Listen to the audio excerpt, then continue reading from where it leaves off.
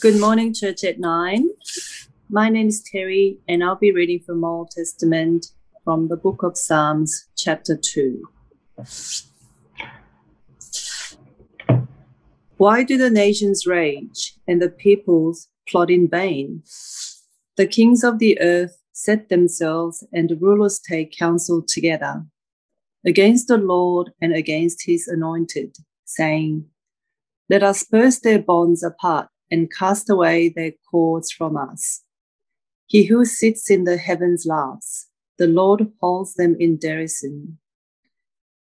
Then he will speak to them in his wrath, saying, Terrify them in his fury, saying, As for me, I have set my king on Zion, my holy hill. I will tell of the decree. The Lord said to me, You are my son. Today I have begotten you. Ask of me, and I will make the nations your heritage, and the ends of the earth your possession. You shall break them with a rod of iron, and dash them in pieces like a potter's vessel. Now, therefore, O kings, be wise, be warned, O rulers of the earth. Serve the Lord with fear and rejoice with trembling. Kiss the Son, lest he be angry and you perish in the way. For his wrath is quickly kindled. Blessed are all who take refuge in him. This is word of our Lord.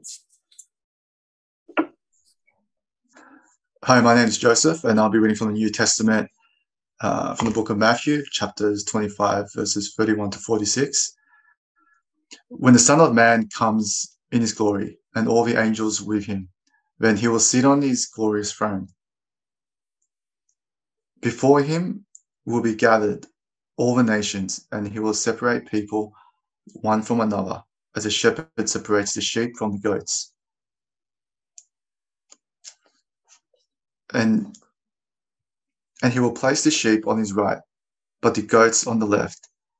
Then the king will say to those on his right, Come, you who are blessed by my Father, inherit the kingdom prepared for you from the foundation of the world. For I was hungry, and you gave me food. I was thirsty, and you gave me drink. I was a stranger, and you welcomed me. I was naked, and you clothed me. I was sick, and you visited me. I was in prison, and you came to me. Then the righteous will answer him, saying, Lord, when did we see you hungry and feed you, or thirsty and gave you drink? And when did we see you are a stranger and welcome you, or naked and clothe you? And when did we see you sick or in prison and visit you? And the king will answer them, Truly I say to you, as you did it to one of the least of these my brothers, you did it to me. Then he will say to those on his left, Depart from me, you cursed, into the eternal fire prepared from the devil and his angels. For I was hungry, and you gave me no food. I was thirsty, and you gave me no drink. I was a stranger, and you did not welcome me. Naked, and you did not clothe me. Sick and in prison, and you did not visit me. Then they also will answer, saying, Lord, when did we see you hungry or thirsty, or a stranger, or naked, or sick, or in prison, and did not minister to you? Then he will answer them, saying, Truly I say to you, as you did not do it to one of the least of these, you did not do it to me. And these will go away into eternal punishment, but the righteous into eternal life. This is the word of the Lord. Uh, well, good morning, everyone. Uh, it's great to, to see you. Um, I must say, you're, you're all looking wonderful uh, on my screen at the moment, um, at least the top half of you, anyway. Um, hands up if uh, anyone's wearing pajama bottoms uh, at, at the moment. Yeah, a few honest ones. Um, but uh, it's really good to see you this morning. Uh, if you're joining us for the first time, and uh, I see uh, a few uh, people that I don't recognize this morning, then can I say a special welcome to you? my name is Hui. I'm the minister of, of Church at Nine, and it's great that you can join us this morning. Uh, during the session this morning, uh, one of our staff members, Sophia, uh, we'll get in touch with you uh, via the chat function uh, of Zoom. And it'd be great if you can leave us your, your email address so that we can get in touch with you during the week. And we'd love to get to know you further that way. Well, as um, Ian mentioned, what, a, what a week we've had. Um, who would have thought that would be online again like this, seeing each other through a screen? Uh, I'm guessing that many of us are feeling anxious uh, about a whole variety of things. Um, I know that uh, some of us are feeling very disappointed because our holiday plans have been cancelled and um, other plans have, have not come to fruition. Uh, and it's, it's a very frustrating feeling, isn't it? But uh, I, am thankful to God that uh, we can still share this time around God's word together this morning. And my hope and prayer for us this morning is that um, as we hear God's word, um, our eyes might be lifted up from our current situation and uh, we might see uh, wonderful heavenly realities and that, that we would leave this morning uh, with every reason to keep on rejoicing and keep on being thankful to God for his kindness to us. And uh, so it'll be great if you can have your Bibles open in front of you. Um, uh, keep it open at Matthew chapter 25, and uh, we'll have a look at that chapter together. But uh, before we, we do that, uh, why don't we pray and uh, ask God for his help to understand his word this morning? Let's pray together. Heavenly Father, we come before you this morning after an unsettling week of change. And we pray that you would please have mercy on our city, that the coronavirus outbreak will be brought under control and that lives might not be lost. And Father, we pray for wisdom for our government and for our citizens to display love in doing the right thing at this time. Uh, but Father, we uh, thank you especially uh, that your plans for us never change. Thank you that Jesus is still our King and Savior. We thank you that he's still sitting on his throne at your right hand and we thank you that one day he will come again to fix this broken world of ours. And so, Father, we pray this morning that you might rid our mind of distractions and ease our anxieties. Help us to focus on your word and help us to see Jesus clearly so that our hope might not rest on fleeting things, but in solid heavenly things that will last forever. We pray these things in Jesus' name. Amen. Uh, well, friends, I, don't know about you, but uh, I would not like to be living in New Zealand at the moment. Uh, you might have heard this week that scientists have just released a study saying that there is a 75% of a magnitude 8 earthquake uh, that is going to hit New Zealand in the next 50 years. Uh, apparently, there has been a huge earthquake in New Zealand every 300 years or so, and uh, the next one is not very far away. And so, this report urges people living in these areas uh, to get ready for that terrifying day. Uh, on that day, there will be widespread devastation. There will be tsunamis along the coast. Uh, conditions will be unpredictable. And so, the advice is that uh, people need to get ready now by stocking up on the right equipment. They need to build appropriate shelters. They need to have emergency plans in place. For you see, when an event of this magnitude happens, the difference between being prepared or not is literally the difference between life and death, isn't it? Uh, now, we've been working our way through Jesus's last major teaching block in the Gospel of Matthew. And uh, this has been uh, Jesus' message all along, hasn't it? Uh, the coming of the Son of Man or the great day of judgment is just around the corner. And so it is vitally important that you and I get ready for that day. For the difference between get, getting ready and not being ready is literally the difference between eternal life and eternal punishment in hell. Uh, you can see it at the end of our passage today, can't you? Uh, if you have a look there at verse 46 of Matthew chapter 25, uh, Jesus says, uh, and and these or some people will go away into eternal punishment, but the righteous into eternal life.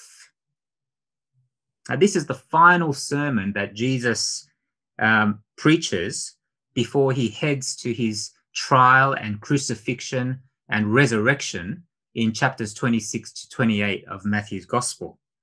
And like all final words, uh, the things that Jesus says here are weighty and they need our urgent attention. Now, you can see there that Jesus' topic is the great and final day uh, of judgment in this world. Uh, in verse 31, he speaks there about the Son of Man coming uh, in all his glory with the angels to sit on his glorious throne.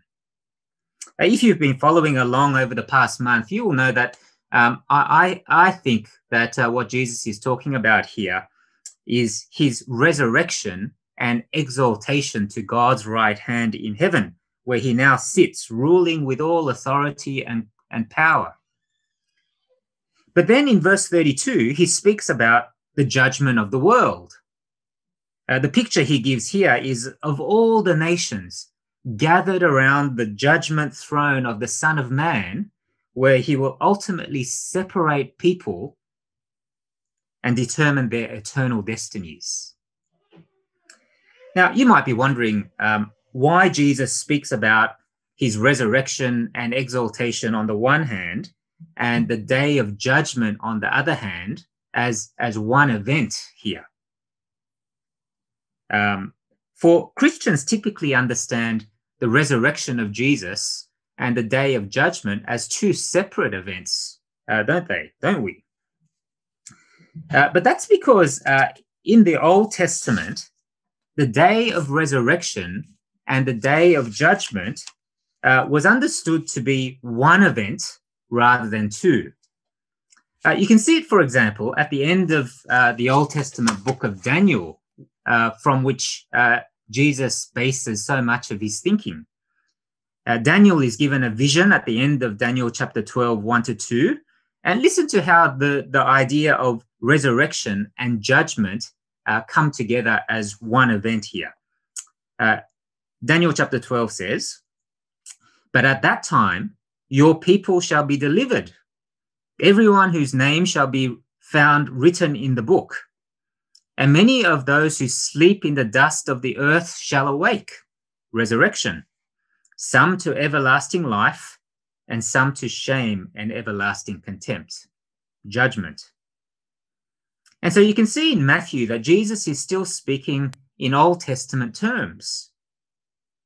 But make no mistake, what he is talking about and what he is saying is that the final judgment at the end of the world is just around the corner. Now, friends, uh, if you turn back uh, with me to Matthew chapter 25, uh, I want you to see some very important things that Jesus says about this day of judgment. Uh, firstly, notice that this judgment uh, will be universal in nature. Uh, in verse 32, all the nations of the world and every single person in this world will be gathered before the judgment throne of the king. In other words, uh, you cannot say that judgment is something that is just relevant for Christian people who believe in this sort of stuff, but not relevant for others who simply want to wish it away. No, what the Bible teaches is that judgment is inescapable. One day, you and I, along with every other person in this world, will bow the knee to Jesus before his judgment throne. Secondly, Notice that the judgment will be on Jesus' terms. Uh, in verse 33, it is Jesus who will place his sheep on his right, which is the place of power and honor. And it is Jesus who will place the goats on his left, which is the place of execution. It's not that sheep are inherently better than goats here. It's just that the sheep are the ones who ultimately belong to Jesus, who is the great shepherd, while the goats do not belong to him. Now, I reckon that lots of people in this world think that judgment will happen on their terms. Uh, lots of people, for example, think that if and when Judgment Day comes, uh, God uh, will really only punish the really bad apples in this world, by which uh, most people mean murderers and pedophiles. But God should turn a blind eye to my sin, think many people, because I've decided that I'm a decent person. And so God should excuse me of my hatred, for example, and my lies and my greed and my sexual immorality and the way I have treated and harmed other people in my life. But no, can you see here that judgment will be universal and it will not be on our terms, which is often so favorable to ourselves, but it will be on Jesus's terms as the one who sits on the throne. Are you ready for that day? Where you and I, where will you and I be placed on that day when we stand before the judgment throne of the Lord Jesus Christ, the King? Now, uh, what will happen to the sheep and the goats who are separated on that day? Well, uh, in the rest of the passage, Jesus goes on to tell us precisely what will happen, uh, beginning with the sheep. And what will happen to the sheep? Well, you can see there that they will hear a gracious invitation by the king to receive the blessing of their heavenly inheritance. Uh, you can see it there in verse 34, can't you? Verse 34 Then the king will say to those on his right, Come, you who are blessed by my Father, inherit the kingdom prepared for you from the foundation of the world. But on what basis will these sheep inherit the kingdom of heaven? Well, at first glance, it seems as if they will inherit the kingdom of heaven based on their works of charity towards others, doesn't it? Their philanthropy towards others. In verse 35, the king says that uh, these are the people who have fed the hungry and have hydrated the thirsty and showed hospitality towards strangers. In verse 36, he says that they are the ones who have clothed the naked and visited the sick and cared for those in prison. Uh, of course, the point that Jesus is making here is that by doing these things for other people, these sheep have actually done these things to him. And that's why Jesus begins by saying, uh, I was hungry and, uh, and, and you gave me food. I was thirsty and you gave me drink and so forth. But later in verse 45, he says to the sheep that what you did for others, these things that you did for others, you actually did it to me. But here's the million dollar question, friends. Is Jesus teaching here a form of salvation by works? In other words, is this a call for his disciples to uh, set up soup kitchens and build hospitals and give to charities if they want to inherit the kingdom of heaven? Well, friends, I think there are some important clues in the text itself that suggests that this isn't actually what Jesus is saying here. Uh, what are these clues?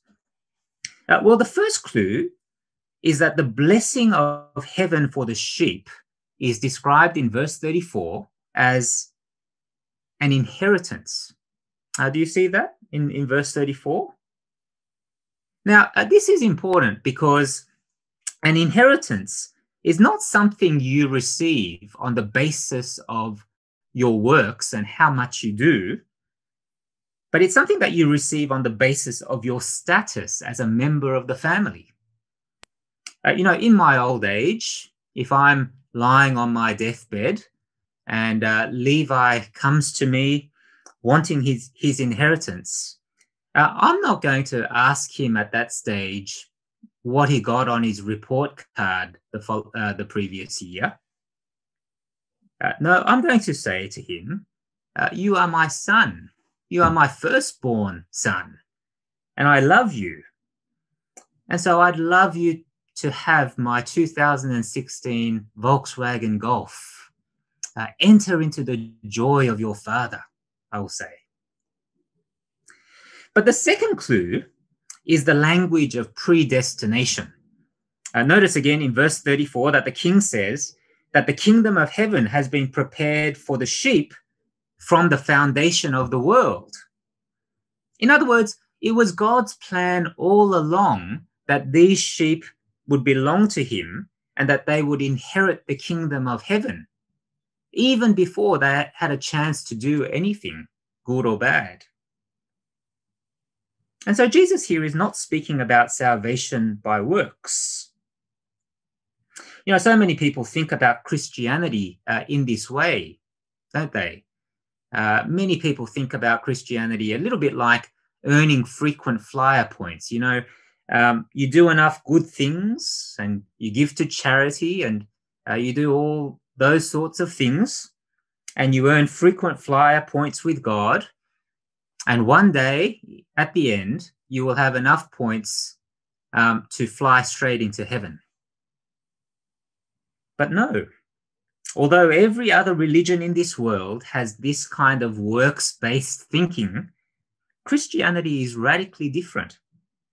For Christianity is not about earning your way into heaven by how much you do, but it is about the gracious plan of God to save his people from their sins.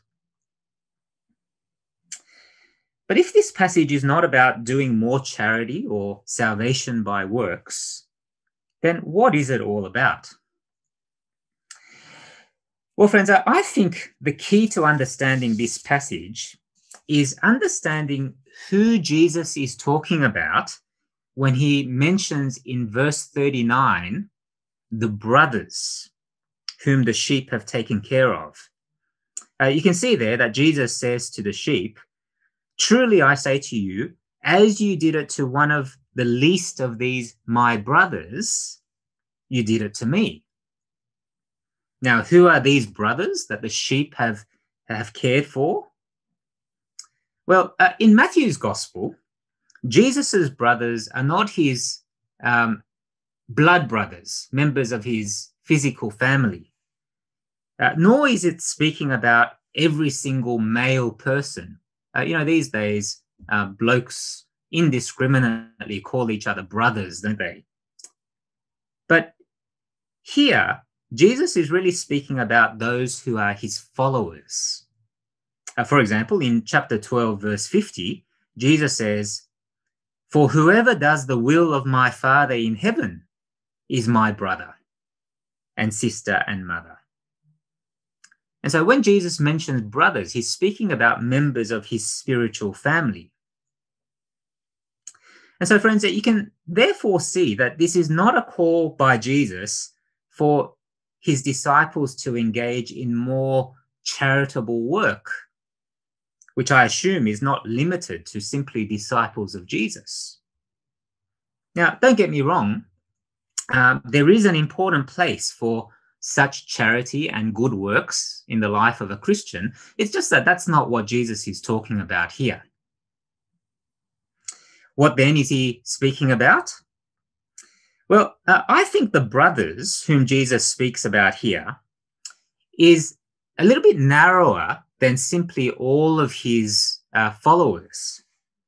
For uh, turn back with me to uh, chapter 10 of Matthew's Gospel. If you have your Bibles there with you, uh, it'll be uh, really important to turn back to Matthew chapter 10.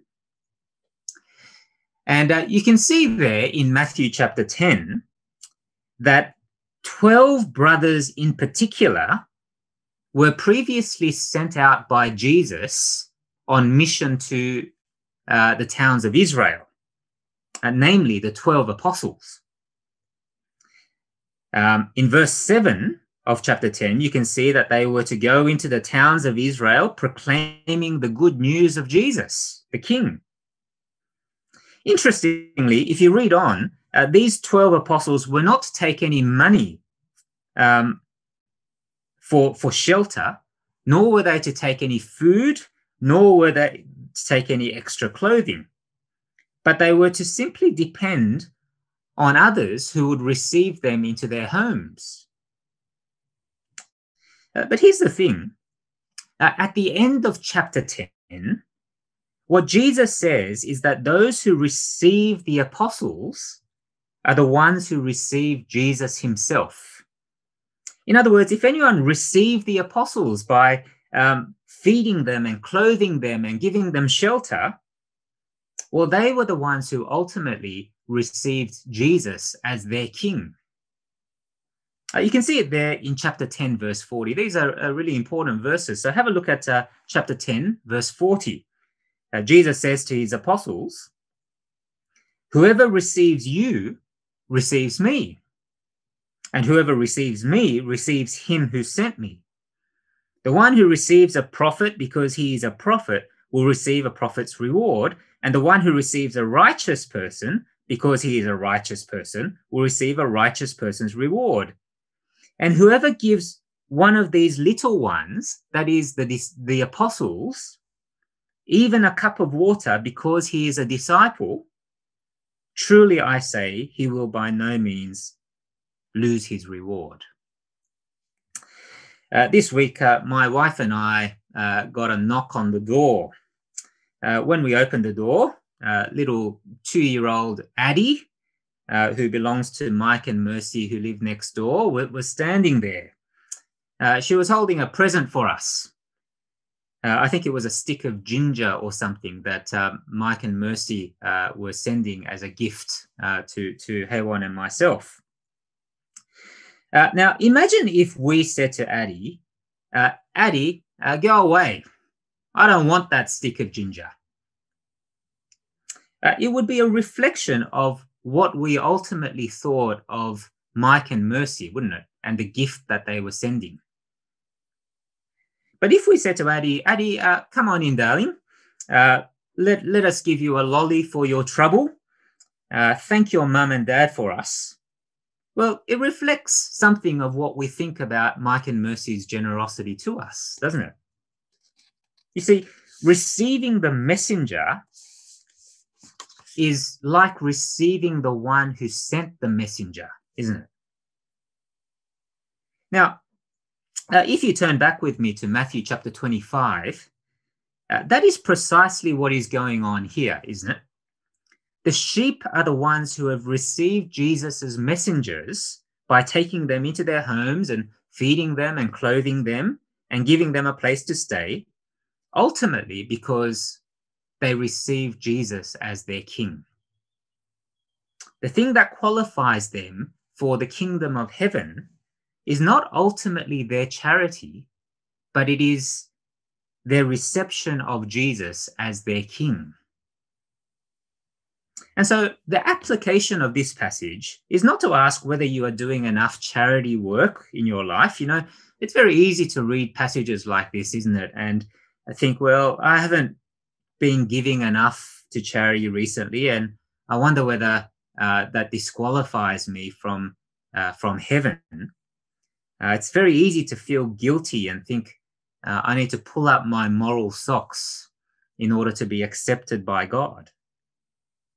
But no, remember that Jesus is speaking these words primarily to his disciples who have already received Jesus as messengers and have received Jesus as their king. You see, uh, friends, if you are a disciple of Jesus, then there was a day in your past, wasn't there, where Jesus sent a messenger to you to share the message that Jesus is king. It could have been a friend, like my friend Sean, uh, who told me the good news of Jesus in primary school. It could have been a parent. It could have been a work colleague. But whoever it was, on that day, you received this person and you received Jesus as the king of your life. And if that is you, then what Jesus is saying here is that you are somebody who is tremendously blessed as somebody who will inherit the kingdom of heaven itself. Isn't that extraordinary? What Jesus says here is meant to be a comfort to his disciples rather than something that robs them of assurance. However, later on in Matthew's gospel, we find that uh, it's not just the 12 apostles who are met the messengers of Jesus, but every disciple in this world is to be a messenger of Jesus who proclaims the good news of the kingdom. And so, if there are messengers of Jesus who experience poverty and injury and prison because of their witness for Jesus, then the way we pray for them and the way we care for them and their needs is a reflection of our attitude towards Jesus, isn't it?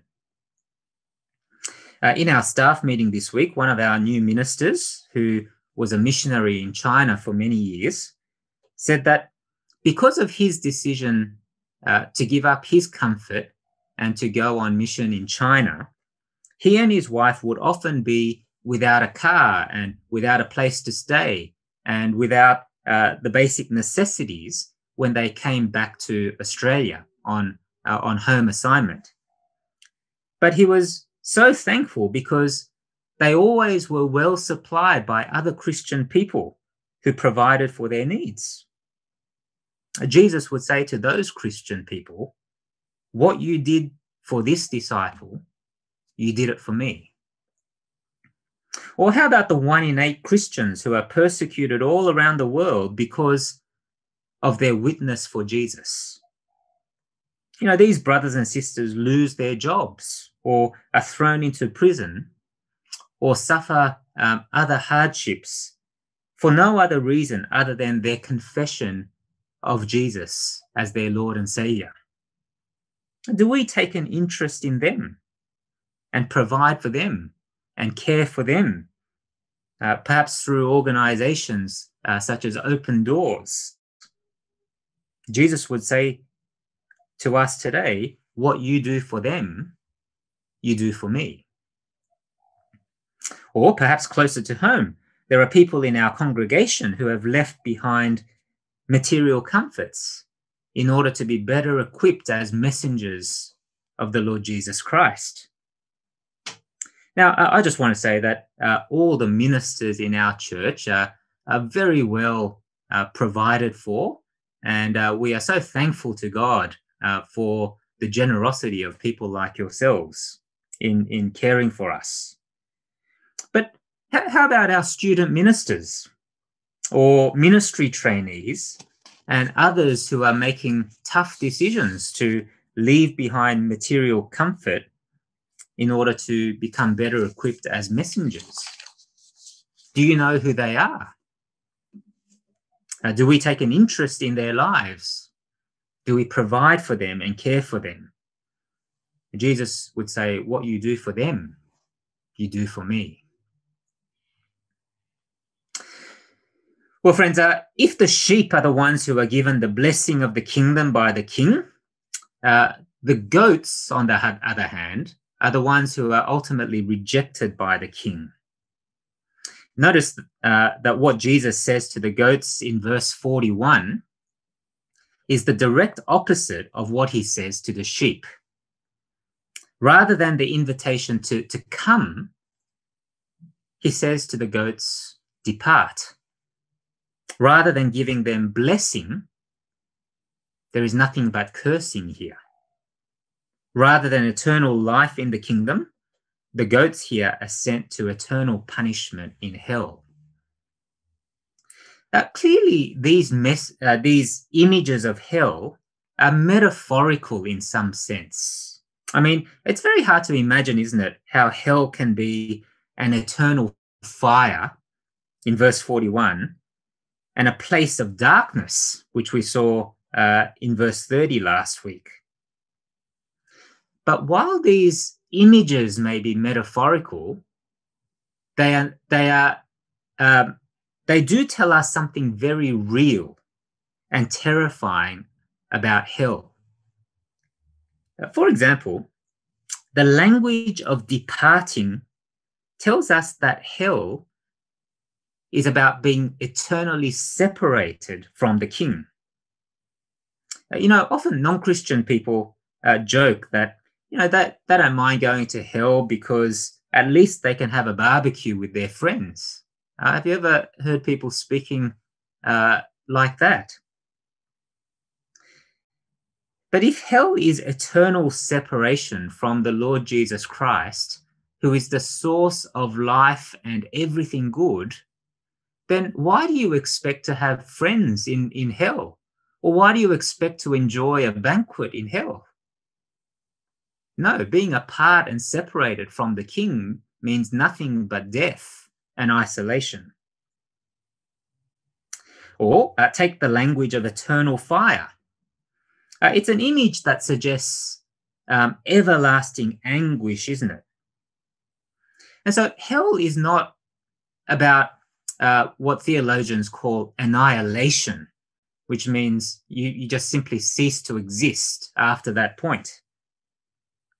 Uh, neither is there any suggestion here that there are second chances when it comes to hell. No, hell is a place which is final and it will be a place of everlasting punishment from God. But on what basis will the goats be sentenced to hell? Well, interestingly, it's not on the basis of what they have done here. Uh, rather, it's on the basis of what they have not done. And what they what have they not done? Well, they are the ones who have not received the messengers of Jesus and therefore have not received Jesus himself as their king as the personal king of their lives. They have not welcomed the strangers and fed them and uh, sorry, they have not welcomed the messengers and fed them and clothed them and housed them. And this rejection of Jesus as messengers is actually a rejection of Jesus himself. You see, uh, as Mike mentioned in the kids spot, it is entirely fair for those who push Jesus out of their lives and continue to do so, will one day Jesus will push them away from him. Uh, friends, if you are here this morning um, and you are um, uh, watching uh, this, this sermon, and uh, you are someone who has not received Jesus as the King of your life, then be warned if you are still living your life with yourself as the king rather than Jesus as the king, the one who calls the shots in your life, then be warned. For your relationship with Jesus now will determine your eternal destiny when one day you stand before him as the king on the great day of judgment. And so before that terrible day comes, uh, will you turn to Jesus as the king of your life? Will you turn away from a life of ignoring him, uh, rejecting him, uh, not living his way, and enthrone, enthrone him as the king of your life? Uh, for friends, this king is such a gracious and kind king. He is a king who does not desire eternal death for you, but eternal life. And he has demonstrated that, as we shall see in following chapters, by dying on the cross to face the hell that you and I deserved for our sin and rebellion, so that we might enjoy eternal life with him in heaven.